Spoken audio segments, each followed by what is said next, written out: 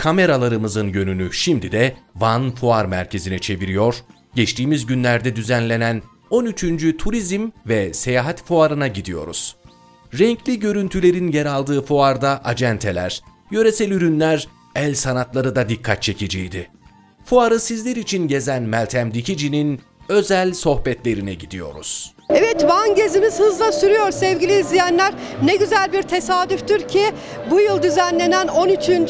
Van Turizm Fuarı'na bizler de geldik efendim. Evet e, bu fuarda çok güzel standlar var. Biraz tanıştıracağım sizleri de az sonra. Evet e, Sütkur'un şu andaki e, standındayız. Efendim merhaba. Merhaba, hoş Sizi bir geldiniz. tanıyalım. Orhan Bahadır ben, e, işletme sorumlusuyum. Evet. E, bir Ne zaman kuruldu burası? Burası bir 2013 yılında kuruldu. E, Yüz Üniversitesi tarafından kuruldu.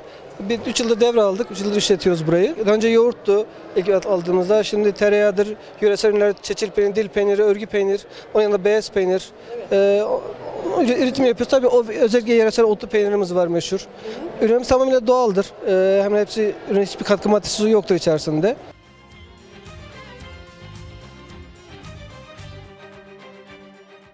Merhabalar sizi tanıyalım. Tuna Sezer. Evet. e, buranın neyisiniz?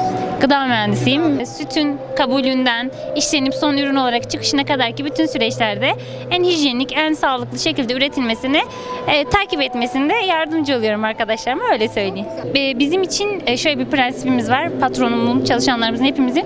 Yani eğer kendi ürettiğimiz ürünü evimizde yemiyorsak, evimize götüremiyorsak başka insanlara da bu ürünü vermiyoruz. Biz bu politikayla ürünlerimizi üretiyoruz. Tamamen doğal ve sağlıklı ol- ürünler olduğundan kesin bir şekilde gönül rahatlığıyla tüketmelerini söyleyebiliyoruz. Hem çok sağlıklı, doğal olması ve ekonomik olması insanlara tercih etmesi için yeterli bir sebep diye düşünüyoruz.